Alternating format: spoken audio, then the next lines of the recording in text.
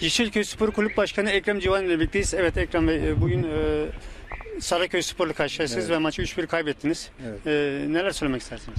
Valla çok güzel bir maç seyrettirdiğimizi sanıyorum. Seyirciler de memnun. Ben de çok memnunum. 3-1 yenilmemize rağmen takımım çok iyiydi. Yani mücadele olarak. Zaten iki haftadan beri e, bu belirtisi var. Artık ikinci yarı bence çok iyi bir Yeşilköy Spor izleteceğimizi e, sanıyorum. Bizim için e, sonuç çok önemli değil. Çocukları geliştiriyoruz. İlerisi için bakıyoruz. Sarayköy Spor'un centilmenlikten dolayı çok teşekkür ederim.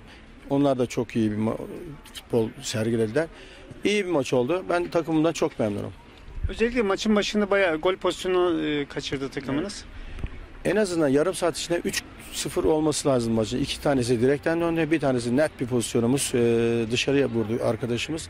E, olur bu genç artık yani bunlar heyecanlı. E, biz bunu sabırla bekleyeceğiz e, tecrübeli olmalarına. E, tabii gençliğin şeysi budur yani Ömer abi. Evet başkanım. e, bu arada rakip de e, tecrübeli ve güçlü bir takım. Tabii tabii yani e, çocuklar onların yanının yarısı zaten yani çocuklar ama mücadele olarak da çok çok iyiydik. Hele ikinci yarı yani bence Saraköy'ü ezdik yani. Teşekkürler başkanım. Başarılar. Teşekkür ederiz. Çok sağ olun.